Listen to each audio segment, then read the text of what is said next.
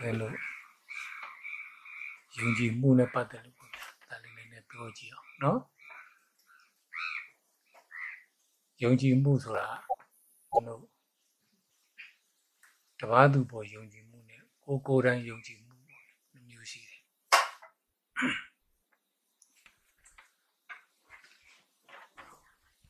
တပားသူယုံကြည်မှုဆိုတာတပားသူရဲ့အားပေးမှုကိုကယူ ပြီးတော့ကိုယ့်အကိုအားဖြည့်တဲ့သဘောပါဥပမာဦးဇင်းတို့ဂျပန်မင်းသားတယောက်ရှူဒိုကူလို့ခေါ်ရတယ်သူမင်းသားနာမည်600စုကရန်သူတွေနဲ့တိုက်တဲ့အခါကျတော့ဦးဇင်းတို့ဗုဒ္ဓဘာသာမှာပုရတိမေနဒတရထောဓကိနေနဝိရုံလကောလို့ဆိုတယ်ကြားဦးသလားသိဘူးဟမ်စ တုလောကပါဠနမင်းကြီး၄ပါးဆိုတော့ကြားဦးမှာပါနော်ဟုတ်လားစတုလောကပါဠနမင်းကြီး၄ပါးလောကပါဠလောကကိုစောင့်ရှောက်တဲ့နမင်းကြီးတွေလို့ပြောတာပဲအဲ့နမင်းကကုဝေရနမင်းကြီးကဝတ္တဝန်လို့လည်းခေါ်တယ်အဲ့တော့ဝတ္တဝန်နဲ့နမင်းရုပ်ထုရဲ့တတရထရဲ့ဝိရုံလကရဲ့ဝိရုပကရဲ့ဒီနတ်ရုပ်လေးရုပ်ကို သူ့ရဲ့ဒီဘယ်လိုတန်ကြအင်ကြီးခေါ်တာပေါ့ဗျာအာမတန်ကြအင်ကြီးတွေထည့်ပြီးတော့သူတိုက်တယ်ပေါ့ဗျာတိုက်တော့စစ်ပွဲတွေအောင်မြင်တယ်စစ်ပွဲတွေအောင်မြင်တော့အဲ့ဒီချိန်ကစပြီးဂျပန်မှာဒါဗုဒ္ဓဘာသာနိုင်ငံတော်ဘာသာဖြစ် တတ်မှတ်လိုက်တာသူရှင်မြင်ဖြစ်လာတယ်ဆိုတော့လူတယောက်ရဲ့ယုံကြည်မှုဆိုတာသူဒီနတ်မင်းကြီးတွေကြောင့်နတ်ယုတ်တွေကြောင့်သူစစ်ပွဲနိုင်တယ်ဒီနတ်ယုတ်တွေကသူ့ကိုစစ်တိုက်တဲ့အခါနော်အကူအညီပေးလိုက်မယ်ဆိုတဲ့ယုံကြည်ချက်နဲ့အဲ့ဒီယုံကြည်ချက်နဲ့တိုက်သွားတာဆိုတော့ဒါတိုက်ပွဲနိုင်သွားတယ်ပေါ့ဗျာနော် အဲဒါကြောင့်လည်းဒီနတ်ကြီးတွေကဗုဒ္ဓဘာသာနဲ့ဆက်ဆက်ဆက်ပြီးတော့အာဒါနာတိယတုတ်မှာဗုဒ္ဓဘာသာနဲ့ဆက်ဆက်တဲ့နတ်မင်းကြီးတွေဖြစ်တာဒီလိုသူကဒါဗုဒ္ဓဘာသာနိုင်ငံတော်ဘာသာဆိုပြီးကြီးညာလိုက်တယ်ဒါတပါးသူယုံကြည်ပေါ့ဗျာနော်နောက်ဦးဇင်းတို့950ဇတ်ထဲမှာကလိန်ကနဲ့ခါတိနဲ့တူတယ်ဗျတိုက်ကြတော့ ကာတိတိုင်းကပုံကိုယ်တွေကဒီဗေဒင်ဆရာကြီးစီသွားမေးဒီစေပွဲမှာပဲနိုင်မလဲပေါ့ဗေဒင်ဆရာရသေးကြီးလူပြောပါနော်ရှေးပြေဟောစီဒီရသေးကြီးကမင်းတို့ကာတိကနိုင်မှာပါကွာမဖြစ်လို့လဲဆိုတော့မင်းတို့ကာတိဘက်ကနတ်တွေကပါကူပြီးတော့တိုက်ပေးမှာမဟုတ်တာဟုတ်တာဒါဟုတ်လား ဟောလို့လိုက်ပရောလူတွေကနတ်တွေကူတိုက်ပြီးနေဆိုတော့သိသဘောကျစီစီရနဲ့ပတ်သက်ပြီးပြင်ဆင်မှုသိမရှိဘူးကလင်ကအဲ့ဒီတည်င်းကိုပေါက်ကြတော့သူကကျိုးကျိုးစားစားငါတို့တော့ကျိုးစားစားစားတိုက်မှဖြစ်မှာပဲဆိုစီလေ့ကျင့်ကနေကြာကြာနာနာလုပ်တကယ်တိုက်တဲ့အခါကျတော့နတ်ကူတွေဘက်ကရှုံးတော့ဟုတ်လား ပြောချင်တာကယုံကြည်မှုဆိုတာတခါတည်းအောင်မြင်မှုရတတ်ပြီမယ်လို့တခါတည်းယုံကြည်မှုတက်တက်နဲ့ကိုယ့်ရဲ့အားကောင်းမပါဘူးဆိုရင်ရှားရှုံးတတ်ပါလေနော်ရဲလည်းပြောဦးတယ်ဒီမှာညာတငယ်ချင်းတယောက်တိုက်ပွဲတော့တငယ်ချင်းတယောက်ကလက်ဖွဲ့လေးပေးလိုက်တာမယ်အဲအဲ့ဒီလက်ဖွဲ့ခိုင်တိုက်မိနိုင်မှာပဲပေါ့စစ်ပွဲမှာမဲဘေးအန္တရာယ်ကင်းလိမ့်မယ် တိုက်တာသူနိုင်တာပဲသုံးလေးပွဲလောက်ကောင်းကောင်းမွန်မွန်ရိုးချွန်ချွန်တိုက်အောင်မြင်လာတဲဆောမလားလို့ဒီလက်ပွဲလေးသူဖြီးကြည့်လိုက်လက်ပွဲလေးဖြီးကြည့်လက်ပွဲရေးထားတာဘာတုံးဆိုတော့မင်းသေးခဲ့ရင်တော့မေမရငါယူမှာပဲလို့ရေးထားအဲ့ဒီတည်းကသူလက်ပွဲယုံကြည်မရှိဘူးနောက်တိုက်ပွဲတွေကြတော့ယုံကြည်မရှိတဲ့အတွက်သူမှ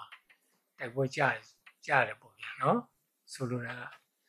ခါတည်းယုံကြည်မှုဆိုတာလူသားတွေကိုအကူအညီပေးတတ်ပါတယ်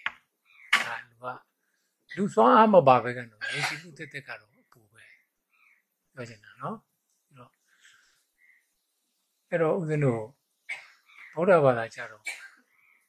ကိုယ့်ကိုယ်ကိုယုံကြည်ရမယ်ကိုယ့်ကိုယ်ကိုအားထားရမယ်ဒီဒီစကားလေးရှိတယ်နော်ဒီ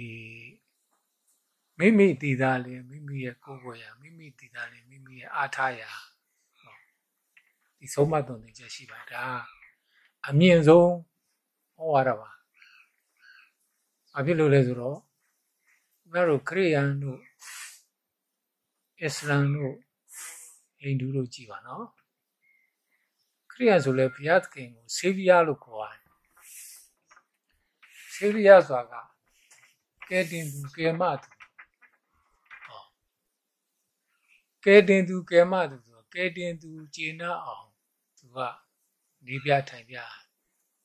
ဆိုတော့အဲ့ဒါဘာဖြစ်လဲဆိုတော့ဘုန်းတို့စာပေမှာအသုံးရှိတယ် puppet shoe ဆိုတာကြားဘူးလားမသိလူသားကဘာဖြစ်သွားလဲဆိုတော့လူသားဟာဘုရားသခင်ရဲ့ရုပ်သေးဖြစ်သွားတယ်ဟောရုပ်သေးရုပ်ပဲသူတို့ဟာ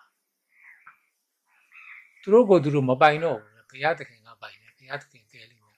ဘုရားသခင်စိတ်ကြိုက်သူနေပေးရမယ်ဒါမျိုးနော် ဘုရားသခင်ကိုယုံကြည်ရမယ်ဘုရားသခင်ယုံကြည်ရင်တို့ဘုရားသခင်ပို့ပေးတဲ့ကောင်းကင်ဘုံကိုရောက်လိမ့်မယ်ဆိုတော့သူတို့အပေါ်မှာတကောပါဝါရှိတဲ့ပုဂ္ဂိုလ်တယောက်ဆေးဗီးယားဆိုတဲ့ကယ်တင်ရှင်တယောက်ကအမြဲတမ်းသူတို့ကိုကြိုးကင်နေတော့အဲ့ဒီပုဂ္ဂိုလ်တွေကယုတ်သေးယုတ်တွေပဲဟာဗုဒ္ဓရှင်တော်မြတ်ကသူဆေးဗီးယားမဟုတ်ဘူးသူကနော်လမ်းပြသူသူက guide to the way ပေါ့ဗျာလမ်းကိုပဲပြတယ်နော်ကိုယ်တိုင်သွားမှာကဘယ်သူတောင်းလဲငါတို့ချုပ်ဖို့တောင်းအဲ့တော့ဒီမဲ့ your savior is on yourself ပဲနော်မိမိရဲ့ကိုယ်ကယ်တင်ရှင်ကမိမိကိုယ်တိုင်သာဖြစ်တယ်ဒီကလုံးလေးပါဟုတ်လားအဲကြောင့်ဒီ ယုံကြည်မှုဆိုတာမျိုးကိုရလာအောင်ငါတို့ကျေလူစားတော့ဘာလုပ်အောင်မလဲယုံကြည်မှုကသီလနဲ့ယုံကြည်မှုပြည့်လုံပြည့်စုံမလားမေးရနော်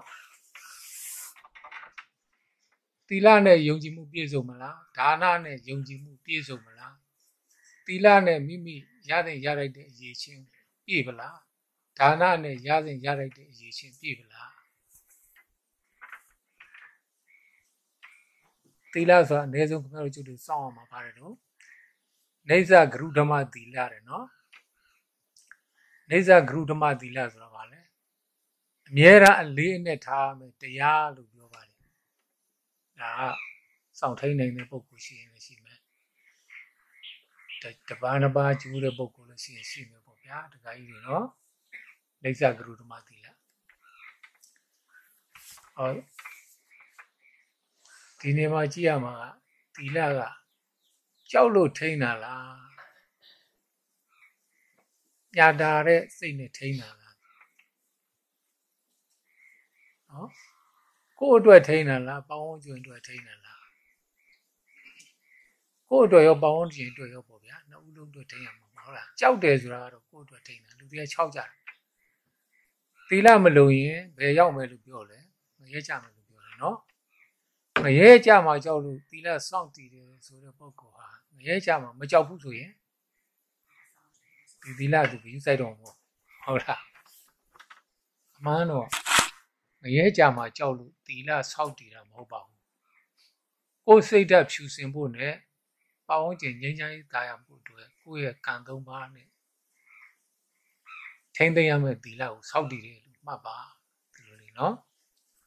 အဲ့တော့အဲ့လိုသီလစောင့်တည်တယ်ဆိုငါသီလလုံခြုံသူတယောက်ဖြစ်တယ်ရှိရတော့ပြသစ္စာဒိဋ္ဌာန်ပြကြတာပေါ့ဗျာသီလနဲ့ဟုတ်လားအတ္တိကုလောကေသီလကုနောသစ္စာသောစေယနှုတ်တရားစသည်အပြင်ဦးဇင်းတို့ဝဋ္ဌသုတ်ပြေးမှာပါမို့လားဦးဇင်းတို့အကြောင်းကတော့ဒီနေ့ကကိုလာဆိုးအိမ်ရောက်တော့ပါတယ်နော်ကျောက်ကသဘောကျဟ ရေလည်းမရုပ်ခဲ့အောင်ရေလည်းမချခဲ့အောင်ခံကြချက်တော့အဲ့လိုဟုတ်လားအဲ့ဒါမှ तू ကစစ်တာဗျာဟုတ်လားရေသက်ချနေပြေးရုပ်နေမဟုတ်တော့ဘူးဗျာနော်မဟုတ်တော့ဘူးမဲ့လို့ကျုပ်တို့လည်းရုပ်ရတာပဲရုပ်ရဥစဉ်တော့မေတ္တာတုတ်လောက်ရုပ်တာဟိုတနေ့ကတော့ကိုယ်ရဲ့ကြီးတဲ့ဘုန်းကြီးပါလာတော့ဝတ္တတုတ်ပါရောရွတ်လိုက်ရနော်ဟိုမိမိဘေးကာကွယ်တဲ့တုတ်အဲ့တော့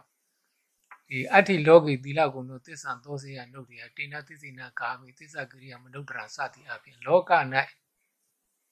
သီလရဲ့ဂုံရှိပါတယ်ဒီသီလဂုံကြောင့်ငါဤသစ္စာဆူပါတယ်ဟုတ်လားငါရဲ့အမိဖတွေကလည်းငါ့ကိုပြစ်ပေးသွားကြပြီပြစ်သွားကြပြီဒါကြောင့်ငါကိုတနာသောအဖြစ်မိသူကွင်းပါစေဆိုတာနဲ့ငုံမဲဝိရိတ်တယ်ဗျာနော်နာအဲကပ္ပထီတီလို့ပြောတာပဲအိန္ဒိယမှာအဲ့ဒီ မုံမဲပရိတ်ရွတ်တဲ့နေရာလေးမှာမွေးမလောင်တာကဘာတီတွေတဲ့ဗျာအမိုက်ပုံရှို့တော့မလောင်မဲ့ပုံပေါ့လေဟုတ်လားအဲ့ဒီအဲကပ္ပထီတီလို့ဆိုတာပဲအဲ့ဒီနေရာလေးကမီးမလောင်လုံးဝမီးမလောင်တော့တဲ့တော့ဒါကတော့သစ္စာပြုကြတာသီလကြောင့်သစ္စာပြုတာလည်းရှိတယ်နော်ဒါနဆိုတာလည်းကျွန်တော်တို့စိတ်ထဲမှာလူဆိုတာလိုချင်တာကများတာဘူးဗျာဟုတ်လား လိုချင်တယ်စုအတွက်လည်းငါအတွက်လိုချင်တယ်အဲအဲ့ဒီလိုချင်တယ်ဆိုတဲ့စိတ်ကလေးကိုပြောင်းပြန်ပြအောင်ပေးချင်တယ်ပေးနိုင်တယ်ပေးလိုတယ်ဆိုတဲ့စိတ်ကလေးပေါ်လာအောင်ဒါနဆိုတာလုပ်ရတာဆိုတော့ကိုယ့်ဘက်ကိုသိညင်တဲ့ကိုယ့်ဘက်ကိုရက်ယူတဲ့လက်ကနေပြီးတော့ကိုယ့်ဘက်ကနေအပြန်ပြင်ကိုပြန်ပြီးတော့ရက်ထုတ်တဲ့လက်မျိုးဖြစ်အောင်ငါတို့ကြိုးစားတာဆိုတော့ဒါနလေးပဲမိမိရဲ့ စိတ်ဓာတ်ကိုယဉ်လာအောင်လုပ်ပြတာပါပဲเนาะသီလရောဒါနရောပေါ့เนาะအဲ့မဲ့သူတို့ကလုံလောက်ပလားဆိုဒီသီလမျိုးဒီဒါနမျိုးကတော့သာသနာ့ဘလို့ခေါ်တဲ့အခါမှာလည်းပဲပုံကိုယ်တိုင်လုပ်ခဲ့တာပဲเนาะထို့အတူဘာဝနာကြတော့နှမျိုးခွဲမယ်နော်ဘာဝနာကြနှမျိုးခွဲတချို့ကဘာဝနာကိုတခါတည်း ဘုရားဘာသာတရားစစ်စစ်ဆိုပြီးတော့ပြောလိုက်တာရှိတယ်ဘာဝနာနှမျိုးခွဲရမယ်ဆိုဘုရားဘာသာစစ်စစ်တရားမဟုတ်တာသမထဘာဝနာကတော့ပန်းနိုင်မဟုတ်ဘူးဘုရားရဲ့ပန်းနိုင်မဟုတ်ဘူးနော်သမထဘာဝနာခမောက်ကျုပ်တို့တယောက်တည်းအိယာဝင်တဲ့အခါကျတော့ဒါလည်းလုံးတင်လုံးလိုက်တဲ့ကိစ္စပါဟုတ်လားဘာဖြစ်လို့လဲဆိုတော့တနေ့လုံးပင်ပန်းလာတယ်ခမောက်ကျုပ်တို့ထည့်ထားတဲ့အာယုံကမန်ကအတိတ်တွေ အဲ့ရဝင်တော့မဲဆိုရင်ခင်ဗျားတို့ကျုပ်တို့ဒီမှာအတိတ်အာယုံတွေအကုန်ဝင်လာနော်အဲ့ဒါတွေပြန်စဉ်းစားပြီးနေတယ်အတော်နဲ့အိမ်မပြောဘူးအဲ့ဒါကြောင့် तू ကအတိတ်ကိုအပြည့်အစုံပြည့်ချလိုက်ပါအဲ့လိုအပြည့်အစုံပြည့်ချလိုက်လို့ရှိရင်ဘာတွေ့လာမလဲဆိုတော့နော်ဒုက္ခအလုံးငြိမ်းသွားတဲ့သဘောတရားကိုတွေ့လာပါလိမ့်မယ်ဒါအတ္တိဒါနနွားကမီးရဆိုစကားလုံးကိုပြောထားတာပါအင်္ဂလိပ်လိုရှိပါတယ်ရှီလို့ပါနော် drop the drop the past completely ဆိုတဲ့အင်္ဂလိပ်စကားလုံးမျိုးရှိပါတယ်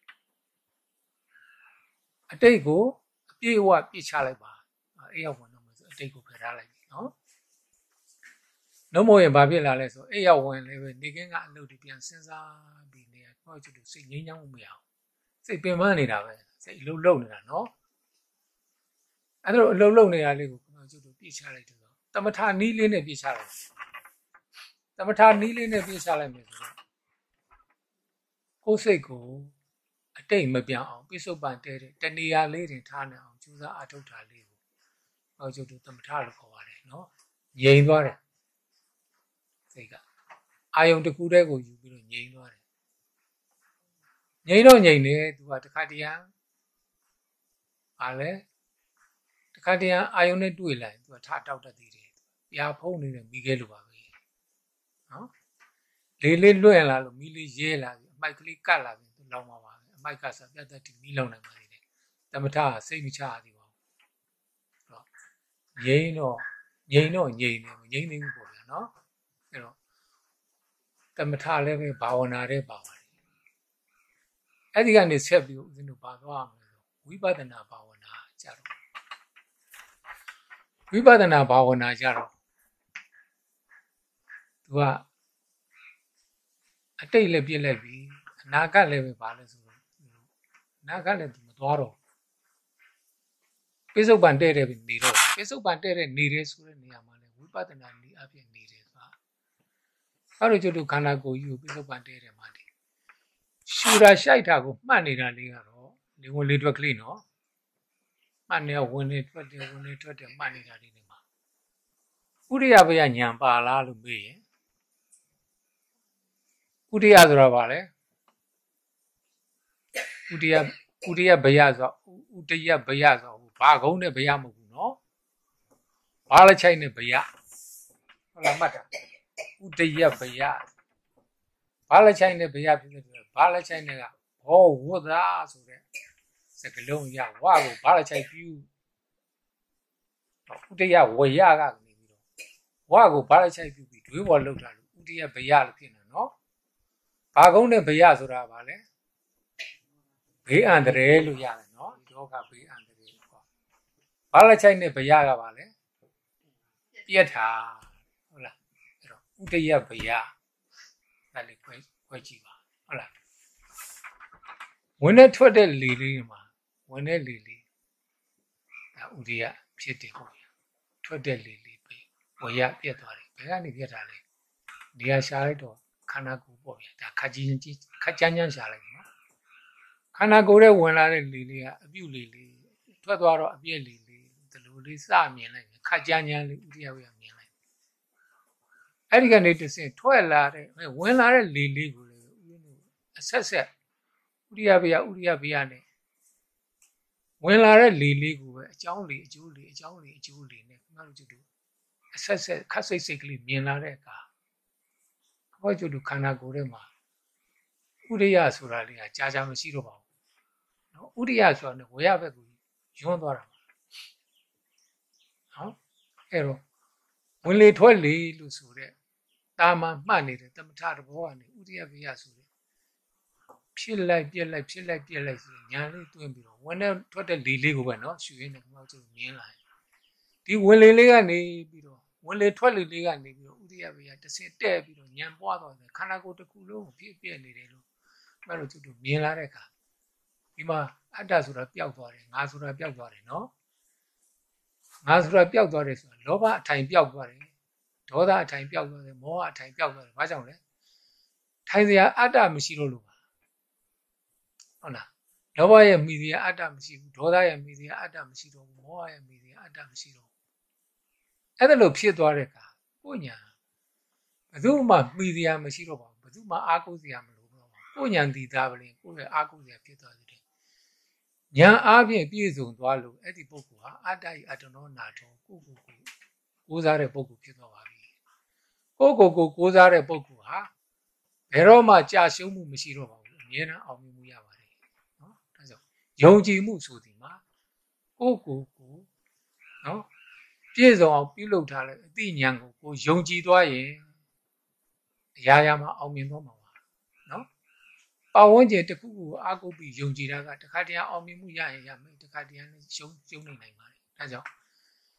အပြည့်အစုံအပြည့်အဝအောင်မြင်မှုကိုရချင်ရင်ကိုကိုကိုကိုယ်တိုင်အားကိုးနိုင်တဲ့အသိဉာဏ်မျိုးရအောင်ကြိုးစားအားထုတ်ပါ